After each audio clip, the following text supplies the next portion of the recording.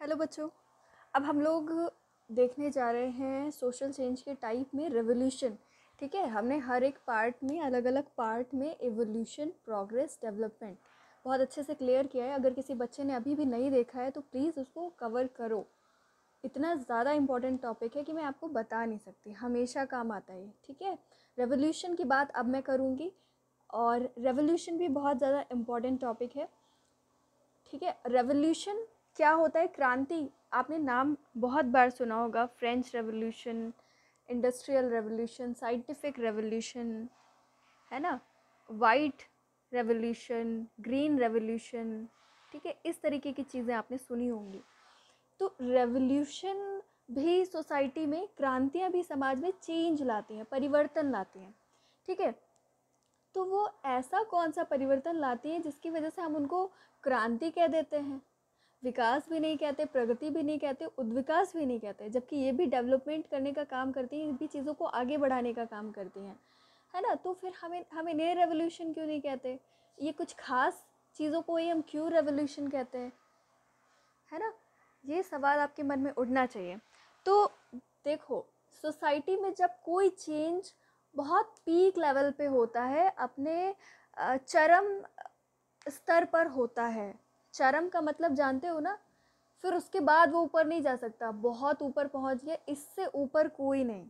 है ना? वो होता है आपका चरम, यानी कि पीक लेवल हाईएस्ट लेवल पे। जब कोई चेंज पहुँच जाता है तो क्या होता है? उस कंडीशन में हम कहते हैं कि हाँ रेवोल्यूशन हो रहा है, क्रांति हो रही है। ठीक है? जैसे आपकी मान लो सोसाइटी एक्स है। ठीक है? एक्स है, अब यहाँ पे कुछ दिक्कतें, परेशानियाँ हैं अब लोग चाहते हैं कि ये ये जो सिस्टम है एक्स सिस्टम ये बदल जाए, ठीक है? तो एक्स सिस्टम क्या होगा? एक्स में कुछ वाई एक्स वाई बन जाएगा वो, कि हाँ चलो इसमें कुछ अच्छी चीज़ें मैंने डाल दी, ठीक है? तो मतलब ये रेवोल्यूशन का एग्ज़ाम्पल नहीं होगा, कि एक्स में हमने वाई जोड़ दिया और उस सिचुएशन को अच्छा बना दिया ठीक है मतलब जो सिचुएशन अभी चल रही है, उसमें मैंने कुछ और अच्छी चीज़ें, कुछ और लोगों को कल्याणकारी चीज़ें जोड़ दी वेलफेयर स्कीम्स जोड़ दी और चीज़ें कंडीशन अच्छी हो गई। तो यहाँ पर इसको हम रेवोल्यूशन नहीं कहेंगे। तो रेवोल्यूशन किसको कहेंगे? जब हमारा मान लो एक्स सिस्टम है और उसमें मतलब मान लो हमारी सोसाइटी की कंडीशन एक्स है है ना? अब इसमें कुछ दिक्कतें, परेशानियाँ आई, फिर हमने क्या किया? रेवोल्यूशन कर दिया। सोसाइटी में क्रांति आ गई। और क्रांति के बाद एक्स वाई में कन्वर्ट हो गया। मतलब जो एक्स था, अब यहाँ पर एक्स का कोई नामो निशान नहीं है। अब आपको एक नई चीज़ देखने को मिल रही है। वो क्या है? वाई मतलब अमूल चूल परिवर्तन हुआ है। अमूल चूल परिवर्तन। हिंदी में अमूल चूल, इंग्लिश में रेडिकल चेंज की वर्ड है आपका रेडिकल चेंज जब रेडिकल चेंज दिखने को मिलता है आपको सोसाइटी में तो वहाँ पर आपका रेवोल्यूशन होता है, क्रांति होती है। ठीक है? इसीलिए यहाँ पर जो चेंज का लेवल होता है, वो अपने पीक लेवल पे होता है। ठीक है?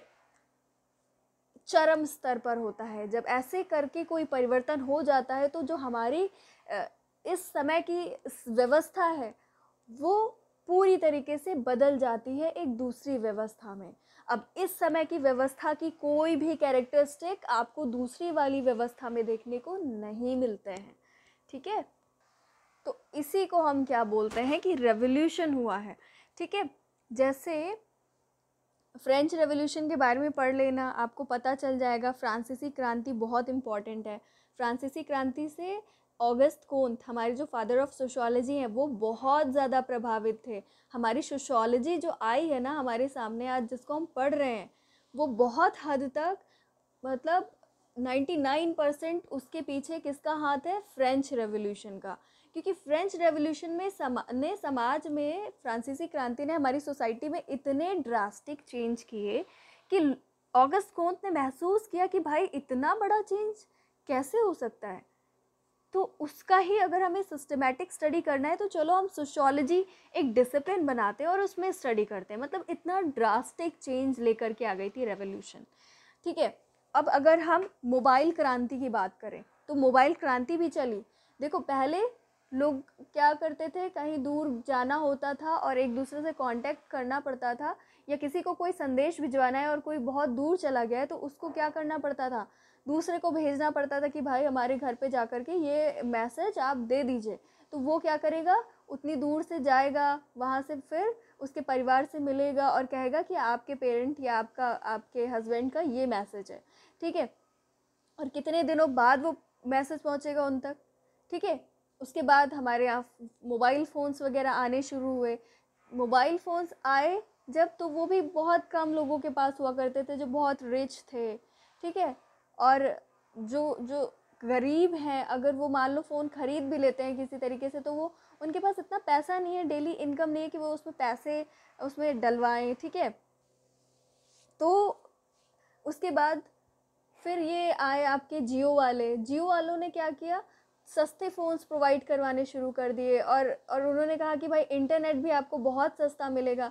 तो सबके मन में आया, बहुत गरीब से गरीब लोगों के मन में आया कि एक फ़ोन तो होना चाहिए। है ना? अब आप देख रहे हो कि एक घर में फ़ोन की संख्या कितनी ज़्यादा बढ़ गई है ना? एक तो छोड़ो, एक से ज़्यादा रहने लगे हैं फ़ोन। हर एक इंसान के पास अपना पर्सनल फ़ोन है। तो क्या है ये? कितना ड्रास्टिक चेंज है, पहले से कंपेयर करो और अभी का। कितना ड्रास्टिक चेंज हुआ है है ना? तो ये जो चेंज होते हैं इतने बड़े लेवल के इसी को हम रेवोल्यूशन कहते हैं। जैसे पहले लोग अंधविश्वास में डूबे हुए थे चर्च की बातें मानते थे उसके बाद क्या हुआ? लोगों ने साइंस डेवलप करना शुरू किया नए नए औज़ार बनाने शुरू किए औज़ार नहीं कहेंगे आ, क्या कहेंगे? नई नई खोजें शुरू की और नए नए जो इंस्ट्रूमेंट्स होते हैं है ना? इन्वेंशंस करनी शुरू की तो मतलब ये सारी करनी शुरू की और साइंस लेकर के आए, चीज़ों को तार्किकता के आधार पर उन्होंने पेश करना शुरू किया कि चीज़ें लॉजिकल होती हैं एक्चुअली में आप इसको बिलीफ सिस्टम पर बिल्कुल भी बेस नहीं मान सकते। हर चीज़ के पीछे एक कॉज होता है और हर एक कॉज का एक इफ़ेक्ट होता है। ये डेफिनेट बात है। इसमें कोई भगवान वगैरह को बीच में मत लाइए, ठीक है? तो ये सारी चीज़ें हैं। जिसको जिसकी वजह से लोगों के माइंडसेट में इतना बड़ा चेंज आया कि उन्होंने भगवान का प्लेस एक अलग किनारे कर दिया और अपनी डेली लाइफ का और अपनी जैसे ज़िंदगी जीते हैं, वो उसमें जो जो चीज़ें करते हैं, ठीक है? उसमें भगवान को निकाल दिया उन्होंने, ठीक है? अब उन्होंने क्या कहा कि God help those who help themselves मतलब आप अपनी हेल्प खुद करिए, आप खुद लॉजिकल बनिए, ठीक है? गॉड को उन्होंने एक साइड में कर दिया। तो पहले क्या था? हर एक काम में वो भगवान को घुसाते थे कि अगर कुछ भी हो गया तो ये भगवान की मर्ज़ी से हुआ है, कुछ नहीं हुआ तो भगवान की मर्ज़ी से हुआ अपना एफ़र्ट लगा लगा, नहीं लगाना है, ठीक है? उनका मानना था कि चलो भगवान की मर्ज़ी होगी तो हो जाएगा। अरे भाई, अपना एफ़र्ट नहीं लगाओगे तो भगवान की भी मर्ज़ी कैसे होगी? है ना? अब सब लॉजिकल वे में आ गए। तो इस तरीके से साइंस भी आया। साइंस की ही वजह से ये सारी चीज़ें आई। जब लोगों ने कहा कि, भाई, हमें आप प्रूफ दीजिए। सबसे बड़ी बात। हमें आप प्रूफ दीजिए। अभी क्या था? भगवान ने किया है। भगवान के भगवान को कैसे प्रूफ दोगे? कोई प्रूफ नहीं है। बट साइंस ने सिखाया कि हर एक चीज़ का प्रूफ होता है भाई, है ना? कोई यहाँ से आके गया है, अगर यहाँ से आके चला गया है तो उसका भी उसका प्रूफ कैसे मिलेगा? साइंस के ही थ्रू मिलेगा। आप उसका जहाँ जहाँ से एंटर किया है, वहाँ पे जा कर के आप फिंगरप्रिंट्स चेक करिए, है ना? इस तरीके से हर एक चीज़ पर आप ऑब्जर्वेशन करिए, आपको पता चल जाएगा कि यहाँ से कोई आकर के गया है कि नहीं अनदर वन ठीक है तो मतलब हर चीज़ में अब साइंस आ गया है तो ये क्या है? साइंस रेवोल्यूशन है. वैज्ञानिक क्रांति है कि जहाँ पहले लोग बिल्कुल डूबे रहते थे, ईश्वरीय सत्ता के अधीन रहते थे और हर एक बात मानते थे चर्च की एक्सप्लॉयट होते थे, अब उन्होंने ये सारी चीज़ें करनी बंद कर दी है. तो ये सब किसके अंदर आता है? रेवोल्यूशन के अंदर आता है, ठीक है? तो आप समझ गए होगे कि रेवोल्यूशन क्या होता है। ड्रास्टिक चेंज रेडिकल चेंज है ना? चरम स्तर का परिवर्तन, अमूल छूल परिवर्तन, ठीक है? तो चलो, ये तो हो गया रेवोल्यूशन फिनिश समझ गए होगे, इसको बुक में ज़रूर पढ़ना। मैंने आपको समझाया है सिर्फ़। एडप्टेशन अनुकूलन अनुकूलन तो शब्द समझ रहे हो ना? एडप्टेशन अनुकूलन। मतलब आप अगर कहीं नई जगह पर जाओ ठीक है तो वो आपके लिए एक बहुत बड़ा चेंज है कि अगर आप अभी यहाँ पे रह रहे हो, मान लो अभी आप यहाँ रह रहे हो, अब बॉम्बे में रहने जाना है आपको तो ये आपका एक चेंज है। ठीक है, अब आप वहाँ पे रहोगे तो वहाँ के तौर तरीके, वहाँ की जैसी सोसाइटी है, वहाँ की जैसी लैंग्वेज है, आप उसमें ढलने की कोशिश करोगे। तो इसी को हम एडप्टेशन कहते हैं कि जब आप बदलती हुई दशाओं में अपने आप को ढालने की कोशिश करते हो तो वही क्या है आपका? अनुकूलन है। ठीक है? जब तक जब तक आप अनुकूलन नहीं करोगे, तब तक कोई चेंज भी नहीं होगा। सोचो, अगर कोई चीज़ चेंज हो गई है और आप अगर उसमें अडेप्ट करने की कोशिश नहीं कर रहे हो तो चेंज कैसे होगा? चेंज होगा ही नहीं। जैसे क्लोज सोसाइटी में, जो आपकी गाँव क्लोज सोसाइटी का एग्जांपल है, आपके जो परंपरागत गाँव हैं ट्रेडिशनल विलेजेस हैं। ट्रेडिशनल विलेजेस को बोला गया कि आप इंटरकास्ट मैरिज करिए। आप अंतर जाति विवाह करिए, जाति के बाहर विवाह करना शुरू करिए। तो ये एक चेंज हुआ ना? उनसे कहा गया कि भाई ये चेंज करो। अगर वो अपने आप को इस चेंज में अडेप्ट नहीं कर रहे हैं तो वहाँ पे चेंज कैसे होगा? नहीं होगा। अगर वो कह रहे हैं, नहीं नहीं, धरती यहाँ से वहाँ पहुँच जाए, ठीक है, आसमान हिल जाए, कुछ भी हो जाए, हम तो नहीं करेंगे इंटरकास्ट मैरिज और ना किसी को करने देंगे। मतलब इसका है वो अडाप्ट नहीं कर रहे हैं, वो अनुकूलन करने की कोशिश ही नहीं कर रहे हैं। तो जब तक भाई अनुकूलन नहीं करोगे, तब तक कोई चेंज भी नहीं होगा। इसीलिए एडेप्टेशन का रिलेशन है चेंज से।